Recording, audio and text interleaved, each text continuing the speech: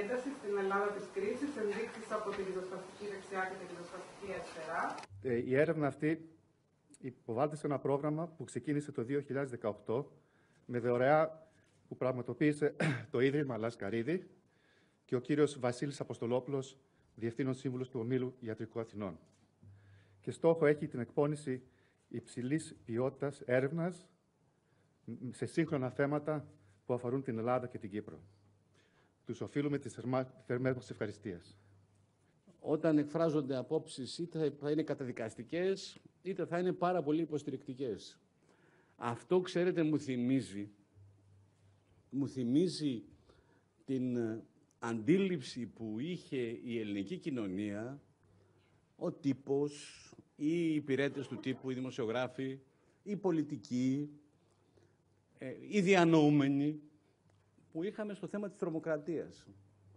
Πριν αποκαλυφθεί, πριν εξαρθρωθεί η τρομοκρατία, πριν γίνει γνωστή δηλαδή η, το περιεχόμενό της, η υφή της, οι άνθρωποι της, οι λεπτομέρειες της δράσης της, τι κυριαρχούσε στην κοινή γνώμη, κυριαρχούσαν οι θεωρίες συνωμοσίας, κυριαρχούσαν διάφορες ακραίες απόψεις, είχαν γραφτεί εκατομμύρια σελίδες στον τύπο, ε, διότι εκείνα τα χρόνια δεν υπήρχαν ακόμα τα ηλεκτρονικά μέσα, είχαν ε, γίνει αναλύσεις μεγάλες στις τότε τηλεοράσεις. Από όλα αυτά δεν ίσχυε τίποτα απολύτως. Απολύτως τίποτα. Ήταν όλα ένα μηδενικό.